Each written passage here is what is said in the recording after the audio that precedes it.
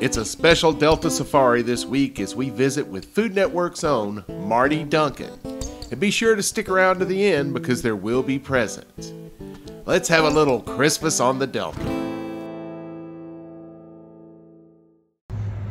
One of the things that makes life on this Delta so incredible is not only do you have the wild space that is the Mobile Tensaw Delta, but at the same time, you've got all the modern amenities encircling it thanks to the city of Mobile and the eastern shore over in Baldwin County, which is where I am today.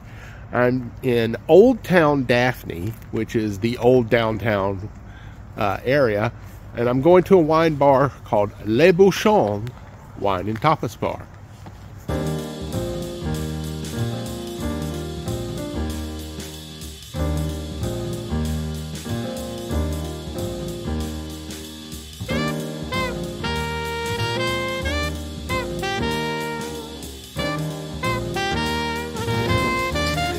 Here I am at Le Bouchon Wine and Tapas Bar, and I walk in, and who do I see but my co-host Mike Baily, sip and chew with Mike and Stu. Hey everybody, How do? how's everybody going? Go it, do it.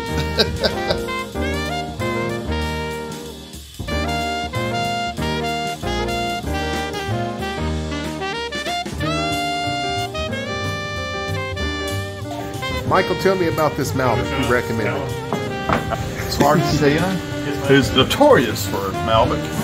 It's like they were invented there, but they're not. They weren't. They're they're actually a blending grape out of uh, France, out of the Bordeaux region, and they're used extensively in Chile and California to blend with.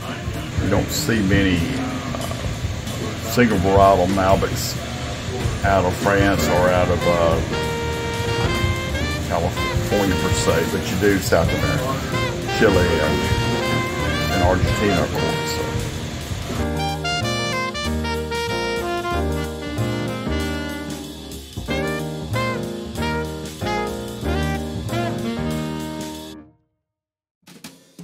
The reason I'm at Le Bouchon tonight is it's another collision of Delta Safari and my radio show Sip and Chew with Mike and Stu. We are honored to have a, good friend of the show and, and a good friend of mine, Miss Martie Duncan from Food Network, in town supporting her new book. So she's doing a book signing here at Le Bouchon, and I thought I would stop by and say hello. Thank you so much. Oh, thank you. I appreciate you coming in. It's perfect. All right, we're here at Le Bouchon Wine and Tapas Bar, and who do we run into but Food Network's own Martie Duncan? Martie, what are you doing here? Okay, Chef, I am so fortunate. Thank y'all for inviting me because this is the cutest place. I'm at Le Bouchon, right? Right. It's a cute little wine bar, but tapas. It is adorable, right in Daphne, right in downtown Daphne.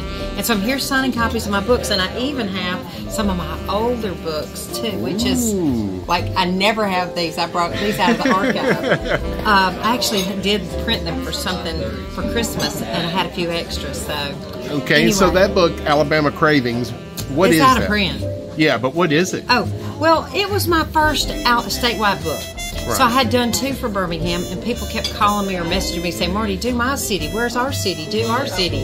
And I couldn't do everybody's city. So I decided to go around the state, and I went to 1,000, I was thinking it was almost 5,000 miles. I don't know how many different things. But so I came up with this one a couple years back, and it's got beautiful original artwork in it. And this one does too. Caroline Ward Sayer, who worked for me, you probably met oh Caroline. yeah, love Caroline. So Caroline worked for me for a long time.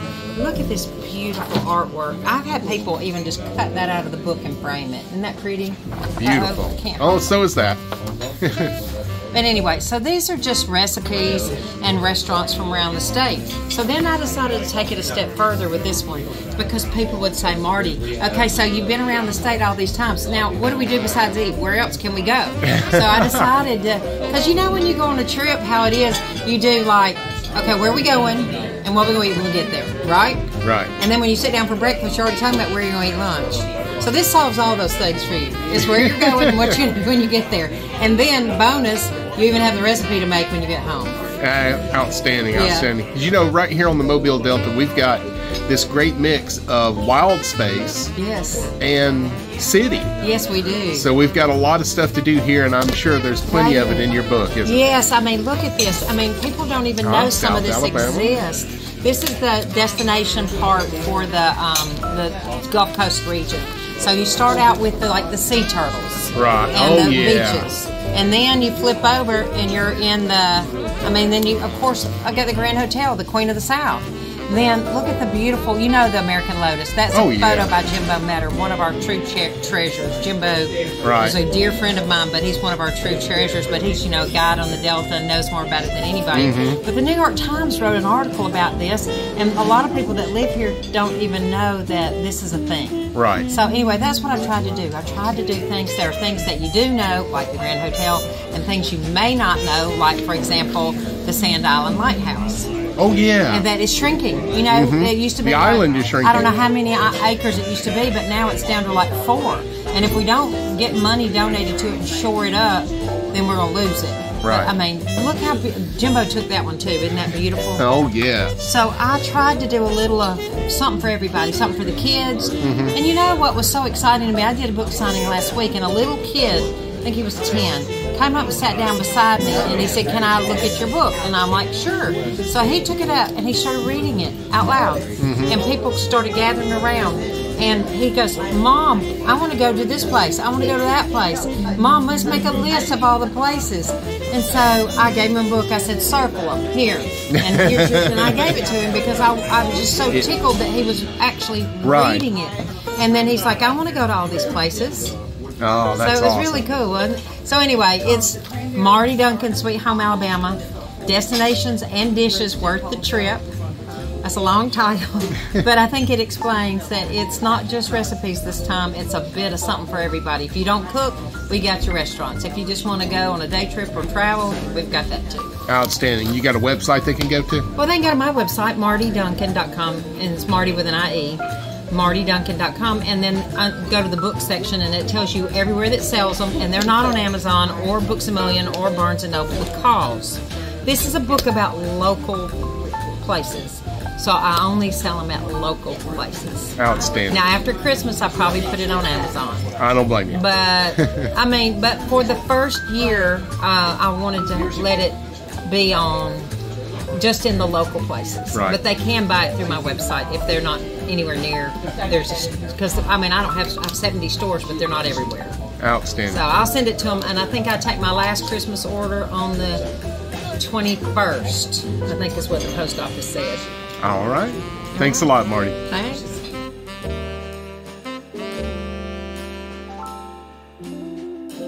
As the name implies, Le Bouchon Wine and Tapas Bar serves tapas.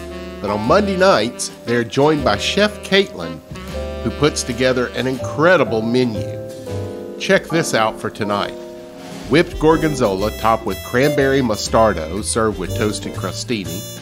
Flatbread topped with za'atar pesto, tomatoes, and feta cheese.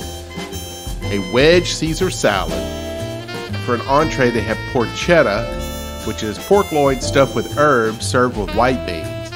On the small plates menu, smoked tomato, basil mac and cheese, and for dessert, homemade pecan pie cheesecake.